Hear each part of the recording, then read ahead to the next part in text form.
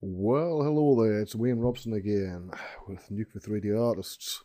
I'm not sure which episode this is. I'm pretty sure that episode 7 went missing.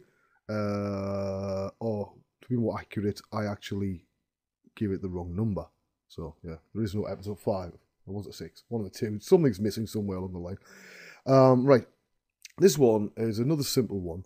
Uh, it's about outputting your sequence. Now, if you've watched the one about the second way of dealing with anamorphic uh, footage, if you had a multipass EXR with say 28 render passes, you wouldn't want to use the reformat node at the bottom unless you actually really got to.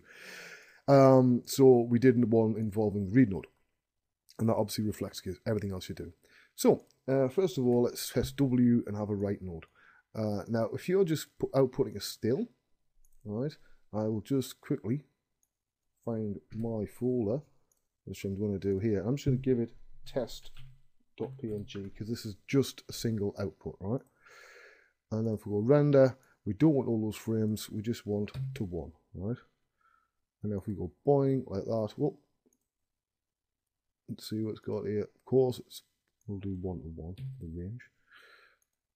Boom. Now I have in my other pane, let's came up over here and there we have it. There's the thing there. And it's rendered, of course, as anamorphic, which then would allow it to be, you know, unstretched for using it in a full sequence. Now, what happens if you want to have a sequence?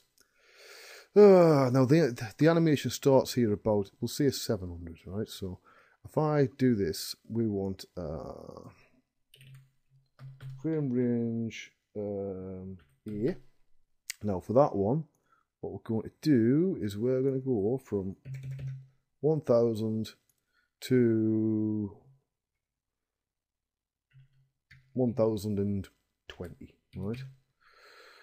We'll put that in there and that will only render 20 but we're not going to press that yet because we need to give it dot and then one two three four hashes is normally enough right? Don't press render yet because what I'm going to show you is quite interesting we're going to make another write node, or probably easy just to copy this one.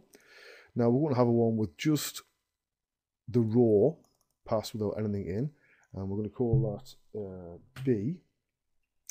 Now this one, if I hit the render one, will be the same frame range, or we could actually do something different. We could do 1100 to 1120. All right. And that's already outputting that there. Let's output all these across in here, like loads of bloody things. So we've got that one there, and uh, let's say we have another write node. Um, we'll have one here just for the roto for the eyes, for whatever reason. And then we'll put that as frame range C. Same frame range as before. Right, now what you can do here, which is incredibly groovy, so we've got all these here, which I want to quickly just create a new new folder. If it allows me to do this, because my mouse is being an idiot. Let's call it one, because I really haven't got time to name things at the moment. Stick it in there. Right. So they're safe. And there's my lovely background. Right. What you need to do is select all of these, right? Everything you want to do.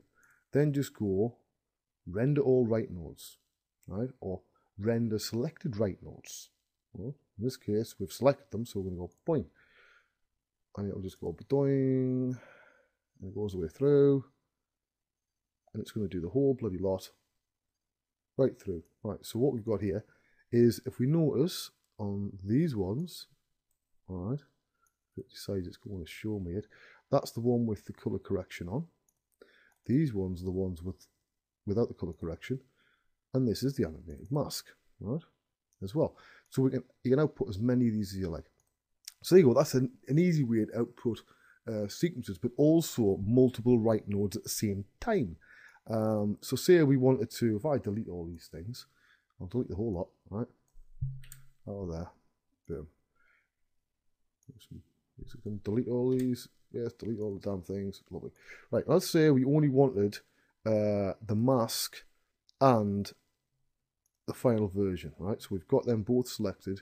Go render, selected write nodes, like that.